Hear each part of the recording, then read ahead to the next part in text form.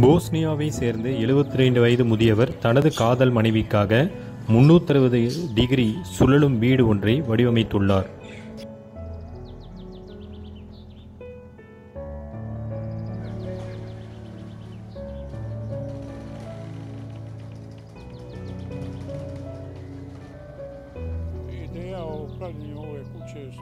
நீண்ட நாளாகவே தனக்கு இந்த எண்ணம் இருந்ததாகவும் தற்போதுதான் அதற்கு நேரம் கிடைத்ததாகவும் கூறுகிறார் இந்த தாத்தா.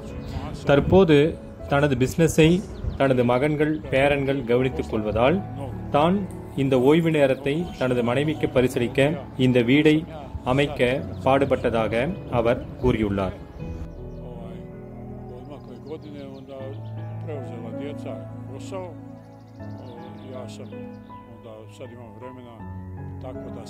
இதன் மூலமாக நீண்ட காலமாக தனது மனைவியின் ஆசையை தற்போது நிறைவேற்றியுள்ளதாக கூறுகிறார் இந்த முதியவர் இந்த 360 டிகிரி சுழலும் வீட்டில் தான் மட்டும் அல்லாமல் தனது மகன்களும் மற்றும் பேரக்குழந்தைகளையும் தங்க அழைப்பு விடுத்துள்ளார் இந்த முதியவர் தனது பேரக்குழந்தைகளுக்கு இந்த வீடு ஒரு சொர்க்க பூமியாக திகழும் என கூறுகிறார் இந்த 72 வயது முதியவர்.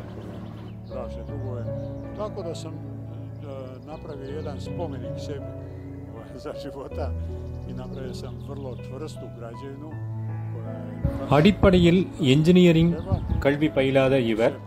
தனது காதல் மனைவிக்காக இந்த பிரம்மாண்டமான வீட்டை உருவாக்கியிருப்பது உண்மையிலேயே மிகவும் அதிசயம்தான்